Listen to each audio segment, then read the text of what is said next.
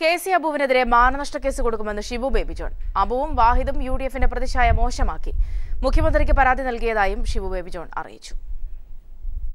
എന്നെ വേദനിപ്പിച്ചത് പരാമർശങ്ങൾ ഓരോരുത്തരുടെ വികലമായ കാഴ്ചപ്പാട് എന്നുള്ള നിലയിൽ നമുക്ക് കാണാം. പക്ഷേ കെ സി അബുവിന്റെ പരാമർശത്തിൽ കെ സി അബു ഞാൻ അദ്ദേഹവുമായി ഈ കാര്യങ്ങൾ പറഞ്ഞു എന്ന് പറഞ്ഞത്. തികച്ചും അടിസ്ഥാനരഹിതമാണ് എന്ന് മാത്രമല്ല. അതായത് ആർ എസ് പിയുടെ ഒരു പ്രതിനിധി എന്നുള്ള നിലയിൽ എനിക്ക് ആരുടെ പരാതിയുമായി പോകേണ്ട കാര്യമില്ലെങ്കിലും ഭരണത്തലവൻ എന്നുള്ള നിലയിൽ മുഖ്യമന്ത്രിക്ക് ആ കാര്യവുമായി ബന്ധപ്പെട്ട് പരാതി കൊടുക്കും കെ പി സി സിയുടെ പ്രസിഡന്റിനും ഇതുമായി ബന്ധപ്പെട്ട് പരാതി നൽകും ഇക്കാര്യത്തിൽ രാഷ്ട്രീയമായി അവർ നടപടികൾ കൈക്കൊള്ളേണ്ടതുണ്ട് എന്നുള്ളതുണ്ട്.